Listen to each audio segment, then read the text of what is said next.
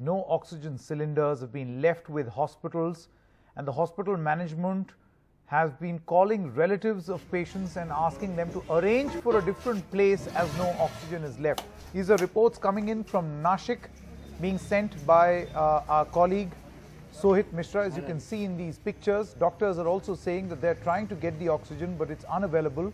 We also spoke to the relative of a patient, her mother, who's been admitted for the last 17 days and is on ventilator support.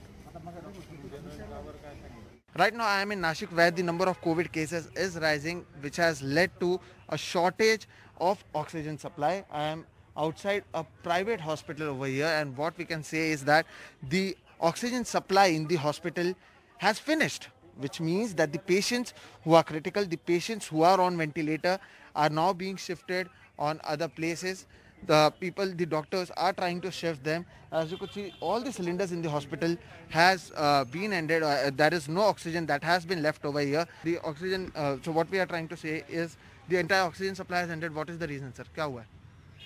Oxygen supply नहीं हो रहा है इसलिए सब मेरे को मेरे पेशेंट ने जो वेंटिलेटर के उनको बाहर शिफ्ट करना पड़ रहा है अगर पेशेंट को ऑक्सीजन ही नहीं रहेगा तो मैं ट्रीटमेंट क्या दूँगा वेंटिलेटर में पेशेंट जब रहता है उसको ऑक्सीजन ही मेन ट्रीटमेंट है कोविड के पेशेंट की। और वो ही नहीं रहेगा तो उसमें हंड्रेड परसेंट पेशेंट की डेथ हंड्रेड परसेंट है। इसलिए अभी आज मेरे पास अभी मैं सवेरे से मेरी खुद की एंबुलेंस है जिधर मेरे ऑक्सीजन मिल रहा है वो ला रहा हूँ आठ बजे से। एक एक एक जम्बो सिलेंडर मेरे को एक आधे घंटे में खत्म होता है। सर क्या कारण बताया गया? क्योंकि सरकार की ओर से जो नियम बना है उसमें कहा गया कि अधिकांश जो ऑक्सीजन सिलेंडर्स है उसका इस्तेमाल स्वास्थ्य के लिए किया जाएगा। अचानक से ऐसा हुआ कि ऑक्सीजन सप्लाई खत्म हो गया और ये केवल एक अस्पताल की कि और भी जगह पे ये, ये नासिक में पूरे अस्पताल में है कि अभी जिसका जितनी रिक्वायरमेंट है उनको 50 परसेंट लो ऑक्सीजन सप्लाई हो रहा है।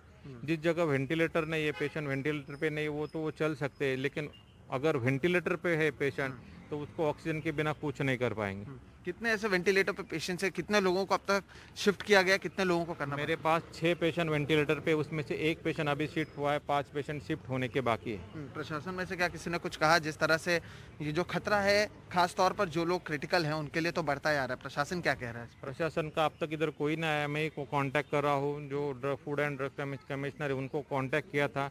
उन्होंने मेरे को ड्रग सप्लाई गवड़ी साहब उनको मिलने को बोला था मैं उनके ऑफ़िस जाके आया लेकिन उधर जाके पता चले कि वो कलेक्टर के साथ मीटिंग में With the rise in the COVID cases in Nashik, another problem that is being faced is shortage of oxygen cylinders. Right now, I am at a private hospital over here, Suvichar Hospital, and what has happened is that the oxygen supply over here in this hospital is the stock is only limited till the evening of 8th April. That is Thursday evening. So that till today evening, that's the stock that they have.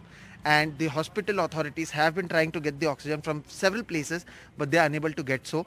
They have called the relatives of the patients who are admitted over here, which includes the patients who are on ventilators. Joining me right now is Archana Vyavare, whose mother has been admitted for more for 17 days over here. Archana ji क्या हुआ? आज आपको क्यों phone आया? अभी यहाँ पर आकर पता चल रहा है कि ऑक्सीजन खत्म हो चुका है। क्या कुछ कहा गया आपको बताइए? हमें सुबह फ़ोन आता है हॉस्पिटल से कि हमारा ऑक्सीजन का जो स्टॉक था वो अभी ख़त्म हो रहा है। आप आपका पेशेंट जो है किस और हॉस्पिटल में शिफ्ट कर दीजिए। जहाँ पे आपको वेंटिलेटर ऑक्सीजन अवेलेबल है वहाँ पे शिफ्ट कर दीजिए। तो हम आए यहाँ पे देखा फिर बहुत सारे हॉस्पिटल में हमने ट्राई भी किया लेकिन सबने यही जवाब दिया कि ऑक्सीजन हमारे पास ख़त्म हो रहा है।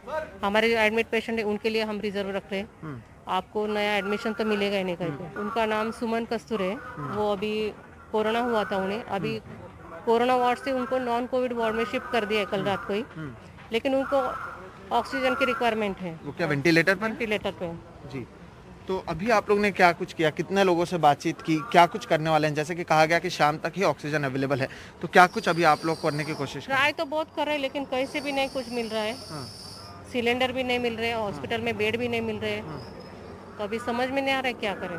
तो अभी शाम तक इंतज़ार कर रहे हैं कोशिश कर रहे हैं कि यहीं पे मिल कोशिश कर रहा है सिलेंडर अगर यहाँ मिल जाते यहाँ पे ट्रीटमेंट अच्छी मिल रही है लेकिन ऑक्सीजन की वजह से उनकी तबीयत खराब होती जा रही हम्म, है कल तक तबीयत अच्छी थी अभी ऑक्सीजन कम हो रहा है। इसलिए उनकी तबीयत अब भी घटती जा रही है। हम्म। Nashik with camera person Praveen जिरोहित, Sohit Mishra, NDTV.